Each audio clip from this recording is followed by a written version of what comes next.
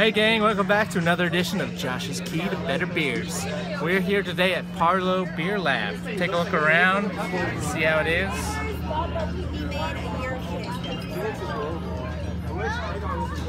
Nice, very nice. It's great out here, great, great day for it.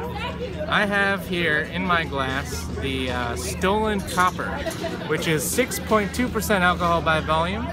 Uh, they call it a, a hopped amber ale, I think, something like that. We're gonna go with that. It's on nitro. Yeah, that's pretty awesome, isn't it? it's on nitro. So here we go. Get a little bit of that malt.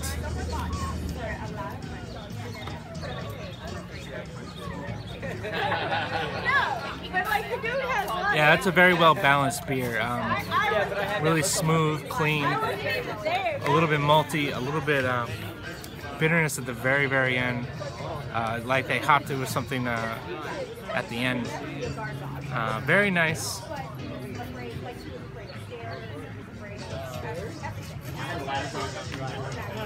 I'm also getting a little bit of uh, almost like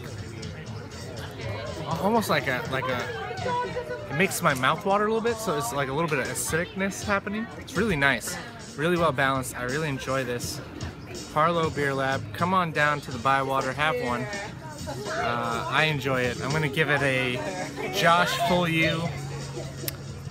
Maybe a quarter A too. Yeah it's really nice. I really enjoy it. It might be the weather but come on down try one out and uh, we'll see you next time on Josh's Key to Better Beers. Sláinte.